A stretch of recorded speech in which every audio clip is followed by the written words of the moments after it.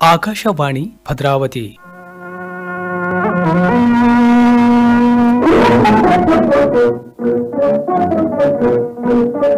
ಯುವ ವಾಣಿ.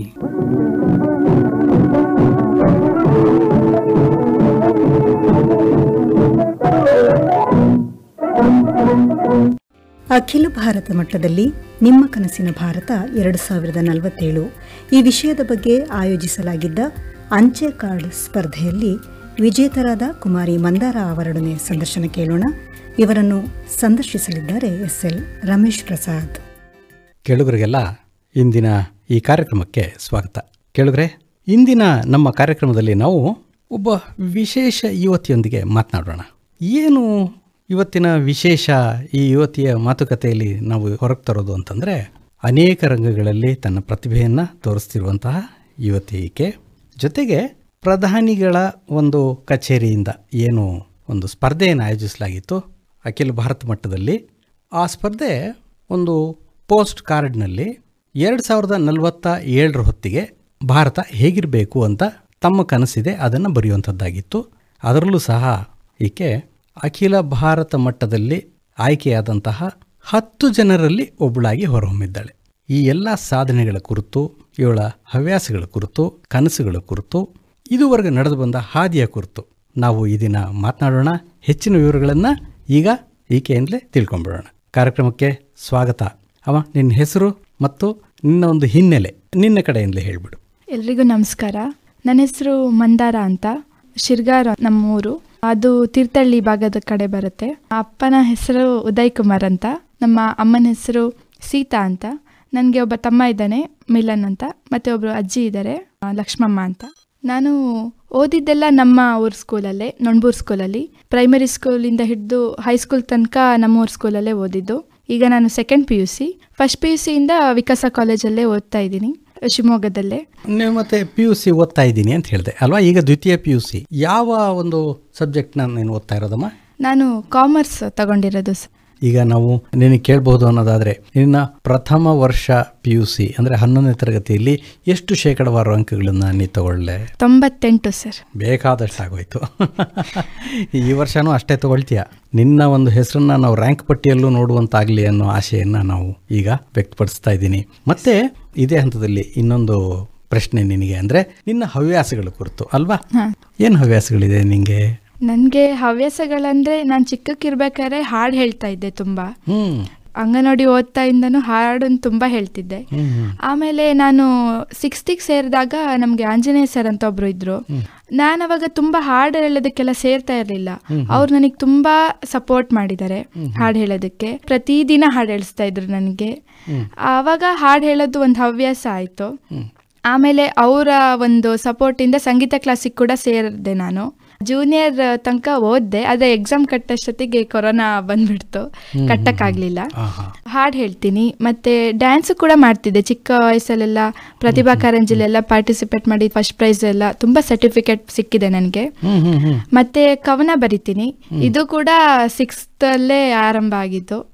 ಆ, ಆಂಜನೇಯ ಸರ್ ಕೂಡ ಅವರು ನನಗೆ ಸಪೋರ್ಟ್ ಮಾಡಿದ್ದು ಕವನ ಬರೆಯೋದಕ್ಕೆ. ಅದು ಕವನ ಬರಿತೀನಂತ ನನಗೆ ನನ್ಗೆ ಗೊತ್ತೇ ಇರಲಿಲ್ಲ ಮೊದಲಿಗೆ. ನನ್ನಲ್ಲಿ ಆ ಒಂದು ಪ್ರತಿಭೆ ಇದೆ ಅಂತ ಗುರುತಿಸಿದ್ದೆ ಅವರು. ಮತ್ತೆ ಕಾದಂಬರಿಗಳನ್ನು ಓದ್ತೀನಿ. ತುಂಬಾ ಕಾದಂಬರಿಗಳನ್ನು ಓದಿದ್ದೀನಿ ನಾನು. ನನಗೆ ಎಸ್ ಎಲ್ ಭೈರಪ್ಪ ಅವರು ಕಾದಂಬರಿಗಳಂದ್ರೆ ತುಂಬಾ ಇಷ್ಟ. ಆಮೇಲೆ ನಾನೇ ಈಗ ಸ್ವಲ್ಪ ಬರೆಯಕ್ಕೆ ಪ್ರಾರಂಭಿಸಿದ್ದೀನಿ. ಸ್ವಲ್ಪ ಬರಿತಾ ಇದ್ದೀನಿ. ಇನ್ನು ಕಾಲ್ಭಾಗ ಆಗಿದೆ. ಅದಿನ್ನು ಕಂಪ್ಲೀಟ್ ಮಾಡಬೇಕು. ನೀನು ಈಗ ಹೇಳಿದೆ ನೀನು ಪ್ರತಿಭಾ ಕಾರಂಜಿಯಲ್ಲಿ ಭಾಗವಹಿಸಿದ್ದೀನಿ ಅಂತ ಹೇಳಿದೆ. ಅದು ಎಲ್ಲವೂ ನೃತ್ಯದಲ್ಲೇ ನೀನು ಭಾಗವಹಿಸಿದ್ದಂಥದ್ದ? ಇಲ್ಲ ಸರ್.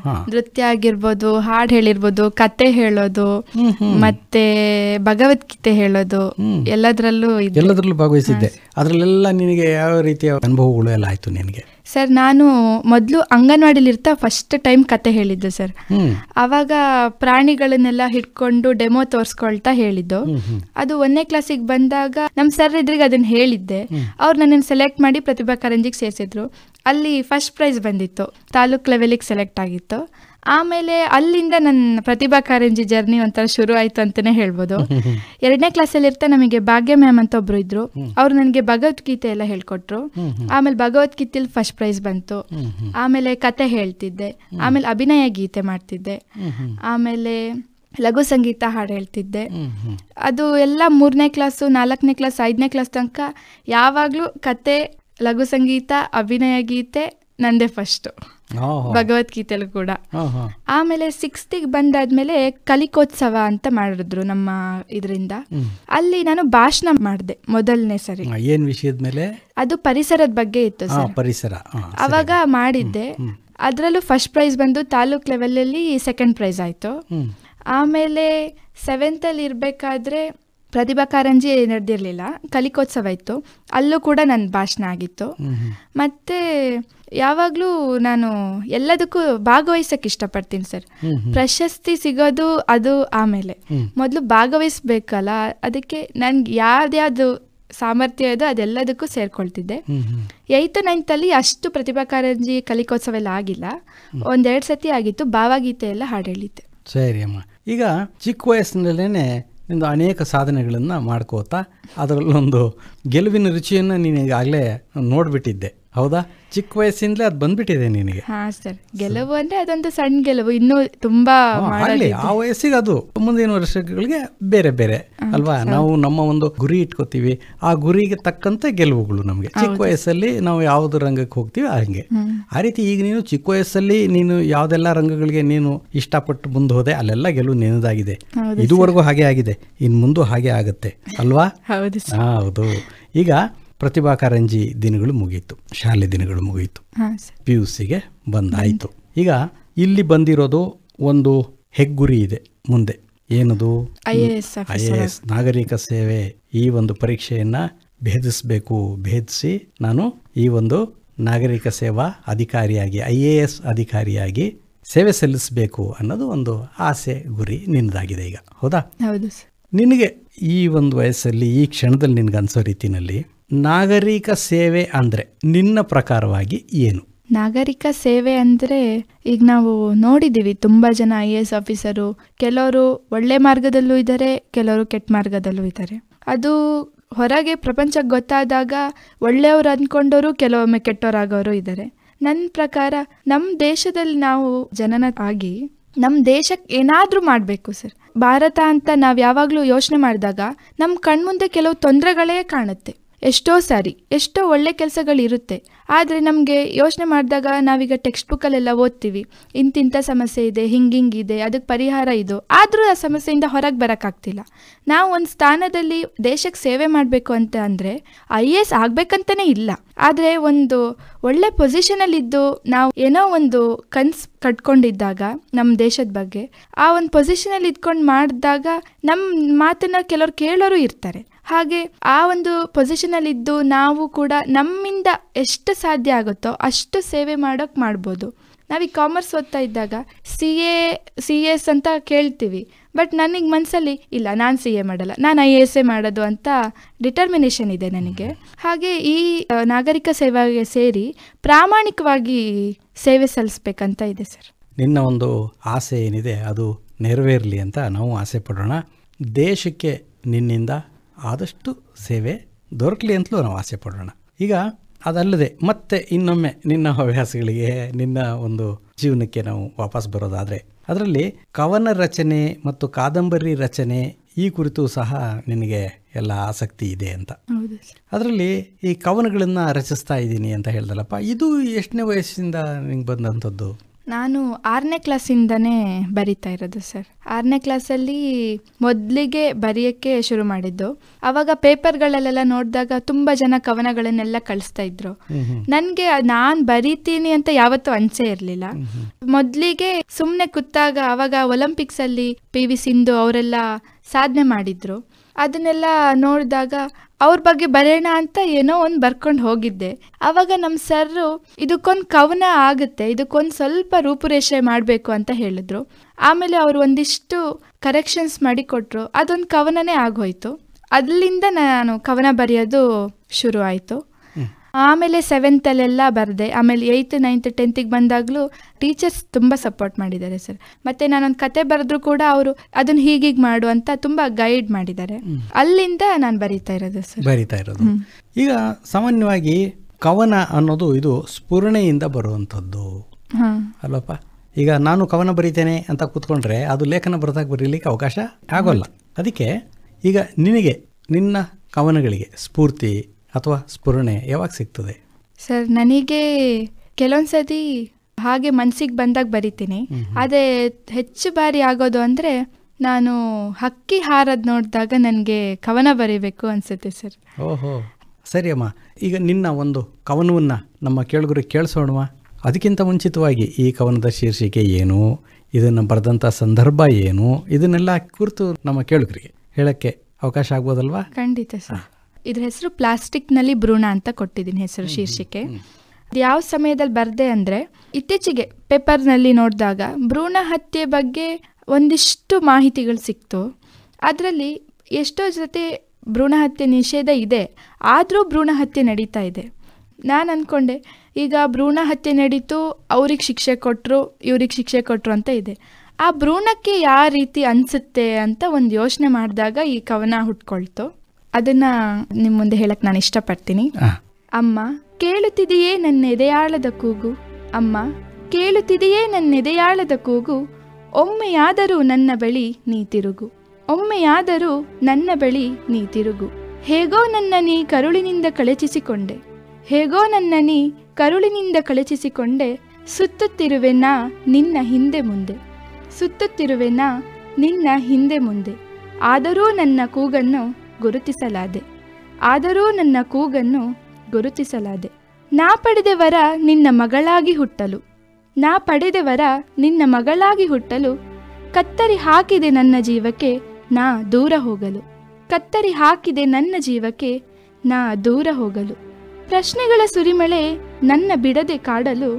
ಪ್ರಶ್ನೆಗಳ ಸುರಿಮಳೆ ನನ್ನ ಬಿಡದೆ ಕಾಡಲು. ನಿಸ್ಸಹಾಯಕಾಳಾಗಿರುವೆ ನಾ ಉತ್ತರ ತಿಳಿಯಲು. ನಿಸ್ಸಹಾಯಕಳಾಗಿರುವೆ, ನಾ ಉತ್ತರ ತಿಳಿಯಲು. ನಾ ಬಂದ ದಿವಸ ಪಾರವೇ ಇರಲಿಲ್ಲ ನಿನ್ನ ಖುಷಿಗೆ. ನಾ ಬಂದ ದಿವಸ ಪಾರವೇ ಇರಲಿಲ್ಲ ನಿನ್ನ ಖುಷಿಗೆ. ಹೆಣ್ಣೆಂದು ತಿಳಿದಾಗ ಏನಾಯಿತು ನಿನ್ನ ಮನಸ್ಸಿಗೆ? ಹೆಣ್ಣೆಂದು ತಿಳಿದಾಗ ಏನಾಯಿತು ನಿನ್ನ ಮನಸ್ಸಿಗೆ? ನಿನ್ನ ನೋಡಲು ಕಾದು ಕುಳಿತ ನನಗೆ, ನಿನ್ನ ನೋಡಲು ಕಾದು ಕುಳಿತ ನನಗೆ, ಬೇಸರ ತರಿಸಿದೆ ಏಕೆ ನೀ ಹೀಗೆ? ಬೇಸರ ತರಿಸಿದೆ ಏಕೆ ನೀ ಹೀಗೆ? ನಿನ್ನಿಂದ ದೂರವಾಗಿಸಲು ಕಾರಣರಾದರು ಕೆಲವರು. ನಿನ್ನಿಂದ ದೂರವಾಗಿಸಲು ಕಾರಣರಾದರು ಕೆಲವರು ನನ್ನವರು ಎಂದುಕೊಳ್ಳುತ್ತಿದ್ದ ಕ್ಷಣದಲ್ಲಿ ನನಗೇ ಪಾಶವಾದರು. ನನ್ನವರು ಎಂದುಕೊಳ್ಳುತ್ತಿದ್ದ ಕ್ಷಣದಲ್ಲಿ ನನಗೆ ಪಾಶವಾದರು. ನನ್ನ ಆಸೆ ಆಕಾಂಕ್ಷೆಗಳಿಗೆಲ್ಲ ನೀರೆರಚಿದರು ನನ್ನ ಆಸೆ ಆಕಾಂಕ್ಷೆಗಳಿಗೆಲ್ಲ ನೀರೆರಚಿದರು ಕೊನೆಗೆ ತಾವೇ ಗೆದ್ದೆವೆಂದು ಬೀಗಿದರು. ಕೊನೆಗೆ ತಾವೇ ಗೆದ್ದೆವೆಂದು ಬೀಗಿದರು. ಕಣ್ಣು ಬಿಡುವ ಮುಂಚೆಯೇ ನಾ ಕಣ್ಣು ಮುಚ್ಚಿದೆ. ಕಣ್ಣು ಬಿಡುವ ಮುಂಚೆಯೇ ನಾ ಕಣ್ಣು ಮುಚ್ಚಿದೆ. ಅದಕ್ಕೆ ನೀ ಮುಖ್ಯ ಕಾರಣವಾದೆ. ಅದಕ್ಕೆ ನೀ ಮುಖ್ಯ ಕಾರಣವಾದೆ. ಬೇರೆಯವರ ಒತ್ತಾಯಕ್ಕೆ ನಾ ನಿನಗೆ ಬೇಡವಾದೆ. ಬೇರೆಯವರ ಒತ್ತಾಯಕ್ಕೆ ನಾ ನಿನಗೆ ಬೇಡವಾದೆ. ಅದಕ್ಕೆ ನನ್ನ ಪ್ಲಾಸ್ಟಿಕ್ ಡಬ್ಬಿಯಲ್ಲಿ ತುಂಬಿದೆ. ಅದಕ್ಕೆ ನನ್ನ ಪ್ಲಾಸ್ಟಿಕ್ ಡಬ್ಬಿಯಲ್ಲಿ ತುಂಬಿದೆ. ಕೇಳಿಸದು ಯಾರಿಗೂ ನನ್ನ ಅಳಲು. ಕೇಳಿಸದು ಯಾರಿಗೂ ನನ್ನ ಅಳಲು ನನಗೊಂದು ಆಸೆ ಇಹುದು ಪ್ರಪಂಚ ನೋಡಲು. ನನಗೊಂದು ಆಸೆ ಇಹುದು ಪ್ರಪಂಚ ನೋಡಲು. ನಿನ್ನಂತೆಯೇ ದರೆಯಲ್ಲಿ ಬದುಕಲು. ನಿನ್ನಂತೆಯೇ ದರೆಯಲ್ಲಿ ಬದುಕಲು ಬೇಡುತ್ತಿರುವೆ ದೇವರಲ್ಲಿ ಮತ್ತೊಮ್ಮೆ ಬದುಕುವ ಭಾಗ್ಯ ನೀಡಲು. ಬೇಡುತ್ತಿರುವೆ ದೇವರಲ್ಲಿ ಮತ್ತೊಮ್ಮೆ ಬದುಕುವ ಭಾಗ್ಯ ನೀಡಲು. ಬಹಳ ನೋವಿನಿಂದ ಬರೆದಂತೆ ಕಾಣ್ತದೆ ಅಲ್ವಾ? ಹೌದು ಸರ್. ಕವನ ಚೆನ್ನಾಗಿದೆ. ಮತ್ತು ಈಗ ಮುಂದುವರಿತಾ ನಿನ್ನ ಸಾಧನೆಗಳತ್ತ ನಾವು ಮತ್ತೆ ತಿರುಗೋದಾದರೆ.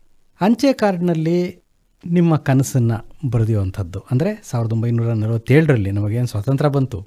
ಅಲ್ಲಿಂದ ಎರಡು ಸಾವಿರದ ನಲವತ್ತೇಳು ಅಂದರೆ ನೂರು ವರ್ಷ ಆಗ್ತದೆ ನಮಗೆ ಸ್ವಾತಂತ್ರ್ಯ ಬಂತು ಹೌದು ಆ ಹಂತಕ್ಕೆ ನಮ್ಮ ದೇಶ ಹೇಗಿರಬೇಕು ಅನ್ನುವಂತಹ ಒಂದು ಕನಸನ್ನು ಅಂಚೆ ಕಾರ್ಡ್ನಲ್ಲಿ ಬರೆದು ಕಳಿಸಿ ಅನ್ನುವಂಥ ಏನೊಂದು ಸ್ಪರ್ಧೆ ಇತ್ತು ಕೇಂದ್ರ ಸರ್ಕಾರದ್ದು. ಅದರಲ್ಲಿ ಭಾರತದಲ್ಲಿ ಅತ್ಯುತ್ತಮವಾಗಿ ಪತ್ರ ಬರೆದಿರೋ ಹತ್ತು ಜನರಲ್ಲಿ ನೀನು ಒಬ್ಳು. ಅಲ್ವಪ್ಪ? ಹೌದು ಸರ್. ಹಾಂ.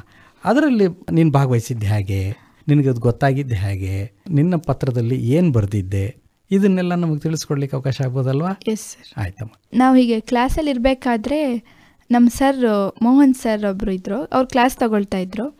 ಅವರು ಬಂದು ನಮಗೆ ಹೇಳಿದ್ರು ಈ ಥರ ಒಂದು ಅವಕಾಶ ಇದೆ ಯಾರು ಬರಿತೀರಿ ಅಂತ. ನಾನು ಸರಿ ಬರೆಯೋದು ಅಂತ ಕೈ ಎತ್ತೆ. ಆಮೇಲೆ ಪೋಸ್ಟ್ ಕಾರ್ಡು ಅಲ್ಲಿಂದನೇ ಬಂದಿತ್ತು ನಮಗೆ. ಅಂದರೆ ಅದ್ರ ಅಡ್ರೆಸ್ ಎಲ್ಲ ಅಲ್ಲೇ ಪ್ರಿಂಟ್ ಆಗಿತ್ತು. ಅದು ಬಂತು. ಆದರೆ ಅದೇನಾಗಿತ್ತು ಪೋಸ್ಟ್ ಕಾರ್ಡ್ ಅಂದಾಗ ತುಂಬ ಚಿಕ್ಕ ಜಾಗ ಸರ್. ಬರೆಯೋದೆಷ್ಟು ಕಷ್ಟ ಅಂದರೆ ಜಾಗನೇ ಸಾಕಾಗಲ್ಲ. ಇದ್ರಲ್ಲಿ ಹೇಗಪ್ಪ ಬರೀಲಿ ಅಂತ ಯೋಚನೆ ಮಾಡ್ತಿದ್ದೆ. ಅಲ್ಲಿ ಬರೆಯೋದು ಕಷ್ಟ. ಬರೆಯೋಕ್ಕೆ ತುಂಬ ವಿಚಾರಗಳಿದೆ. ಆದರೆ ಅದು ಎಲ್ಲ ವಿಚಾರನ ಕವರ್ ಮಾಡಿ ಬರೆಯೋದಂದಾಗ ಸ್ವಲ್ಪ ಹೆಂಗಂತ ಅನಿಸ್ತು. ಅಂದ್ರೆ ಕೆಲವೇ ಅಕ್ಷರಗಳಲ್ಲಿ ಬರಿಬೇಕಲ್ಲ ನಮ್ಮ ಎಲ್ಲ ಕನಸುಗಳನ್ನು. ಹಾಗಾಗಿ ಅಲ್ಲೇ ಇರೋದು ಈ ಸ್ಪರ್ಧೆ ಅಲ್ವಾ? ಹೌದು ಸರ್. ಆಮೇಲೆ ಬರೆಯೋಕ್ಕೆ ಶುರು ಮಾಡಿದೆ. ತುಂಬ ಬರೆದ್ಬಿಟ್ಟೆ. ಅದನ್ನ ತುಂಬಾ ಶಾರ್ಟ್ ಆಗಿ ಮಾಡಿ ಅದ್ರಲ್ಲಿ ತುಂಬಾ ಹಾಗೆ ಮಾಡಿ ತುಂಬಾ ಸಣ್ಣದಾಗಿ ಬರದೆ ಸರ್.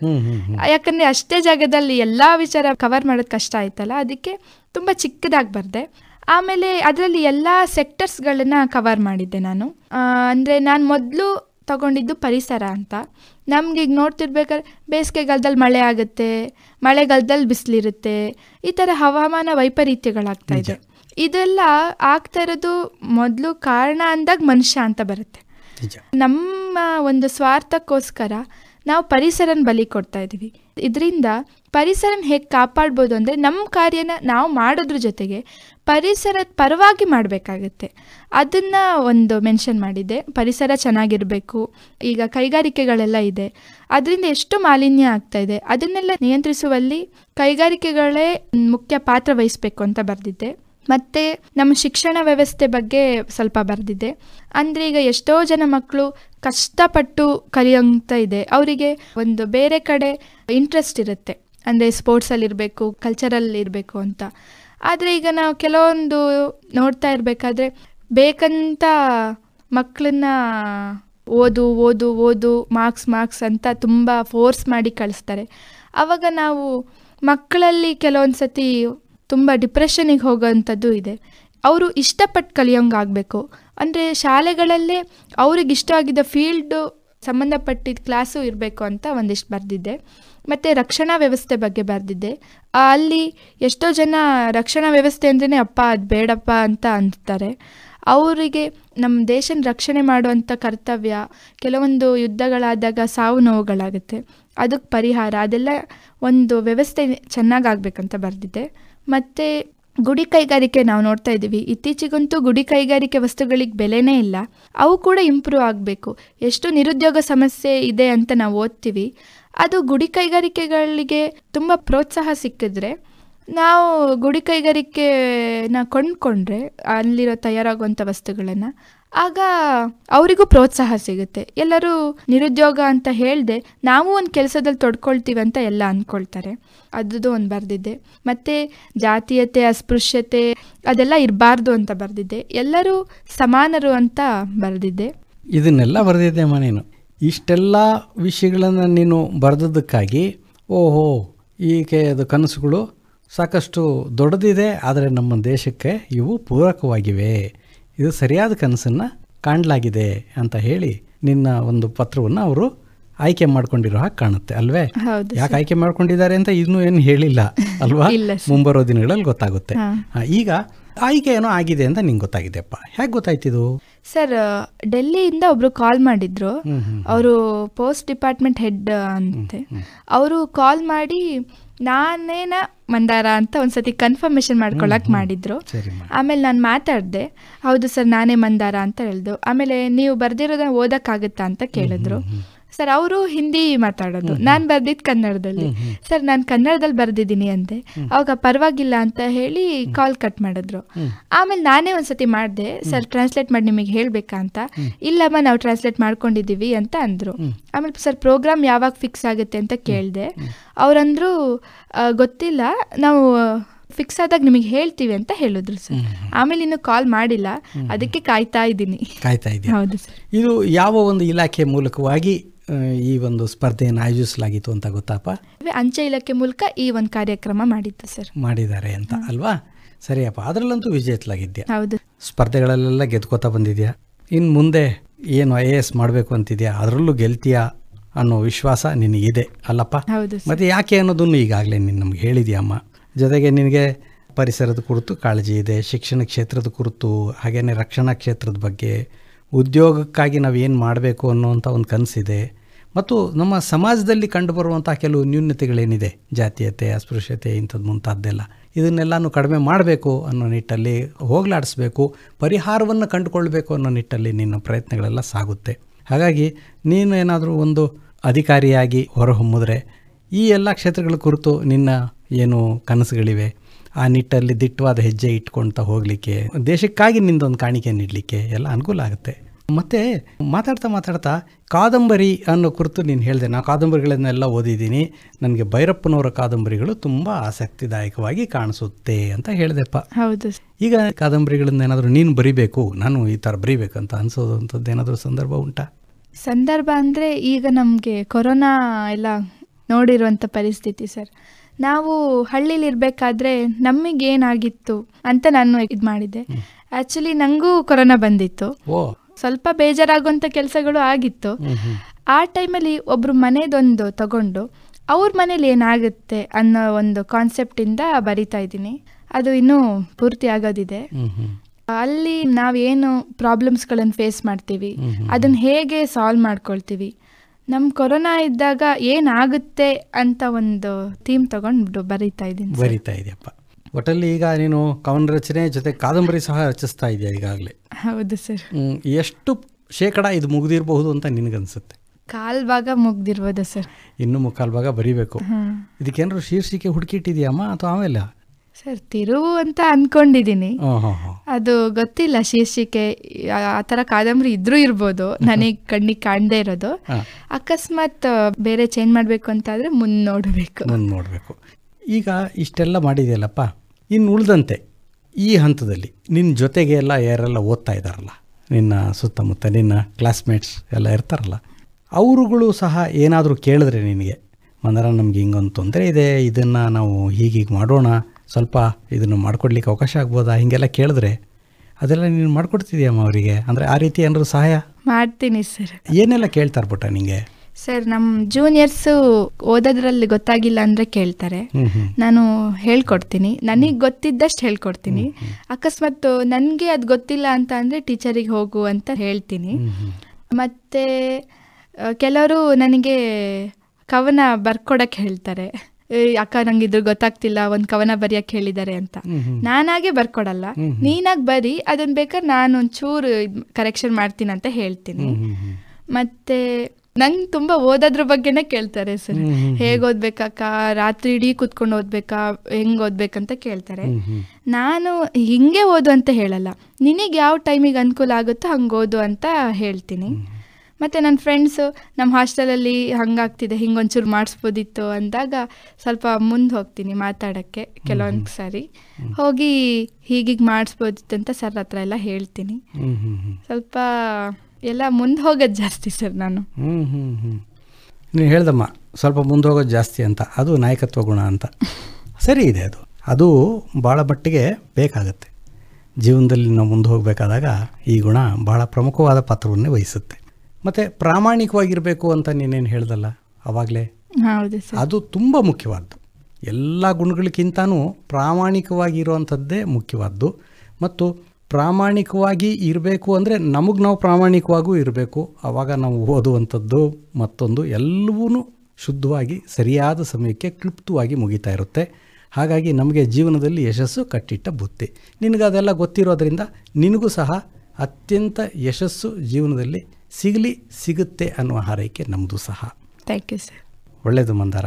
ಇದುವರೆಗೂ ನೀನು ನಿನ್ನ ಕನಸುಗಳನ್ನೆಲ್ಲ ಸಾಕಷ್ಟು ವಿಸ್ತಾರದಲ್ಲಿ ಆದರೆ ಎಷ್ಟು ಬೇಕೋ ಅಷ್ಟು ಸರಿಯಾಗಿ ನಮ್ಮ ಜೊತೆಗೆ ಹಂಚಿಕೊಂಡಿದೆಯಾ? ಈ ಎಲ್ಲದಕ್ಕಾಗಿ ನಮ್ಮ ಸಂಸ್ಥೆಯ ಪರವಾಗಿ ಮತ್ತು ನಮ್ಮೆಲ್ಲ ಕೇಳುಗರ ಪರವಾಗಿ ನಿನಗೆ ಬಂದದ್ದಕ್ಕಾಗಿ ಸಮಯವನ್ನು ನಮಗೆ ಕೊಟ್ಟದ್ದಕ್ಕಾಗಿ ಧನ್ಯವಾದಗಳು. ನಮಸ್ತೆ. ಥ್ಯಾಂಕ್ ಯು ಸರ್ ಅಖಿಲ ಭಾರತ ಮಟ್ಟದಲ್ಲಿ ನಿಮ್ಮ ಕನಸಿನ ಭಾರತ ಎರಡು ಸಾವಿರದ ನಲವತ್ತೇಳು. ಈ ವಿಷಯದ ಬಗ್ಗೆ ಆಯೋಜಿಸಲಾಗಿದ್ದ ಅಂಚೆ ಕಾರ್ಡ್ ಸ್ಪರ್ಧೆಯಲ್ಲಿ ವಿಜೇತರಾದ ಕುಮಾರಿ ಮಂದಾರ ಅವರೊಡನೆ ಸಂದರ್ಶನ ಕೇಳಿದಿರಿ. ಇವರನ್ನು ಸಂದರ್ಶಿಸಿದವರು ಎಸ್ ಎಲ್ ರಮೇಶ್ ಪ್ರಸಾದ್.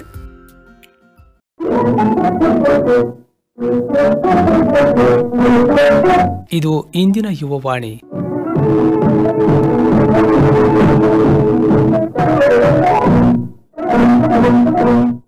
ಈ ಕಾರ್ಯಕ್ರಮ ಆಕಾಶವಾಣಿ ಭದ್ರಾವತಿ ಕೇಂದ್ರದ ಕೊಡುಗೆ.